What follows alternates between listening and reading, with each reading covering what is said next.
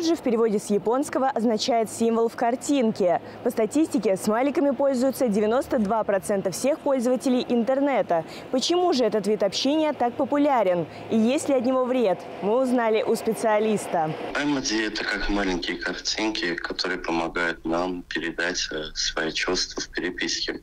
Когда мы пишем текст, мы лишены возможности э, видеть реакцию человека, слушать интонацию его голоса. Смайлики приходят на помощь. Они делают нашу переписку более живой и эмоциональной.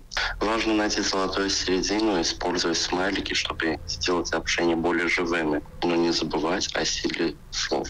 Самыми популярными у пользователей за последние три года стали смайлики сердца и смех до слез. Популярны ли смайлики у жителей Ленинского округа? Давайте узнаем. Пользуетесь ли вы смайликами в переписке? Да. Какие любите смайлики использовать? Ой. Сердце. Класс. Улыбки, как обычно, все приветственные, добрые. Сердечки, улыбки, что-нибудь веселое, что-нибудь такое прикольное. Кому в последний раз отправляли эмоджи? А, друзьям разные. Ну, там много друзей, поэтому им. А вы? Маме с папой.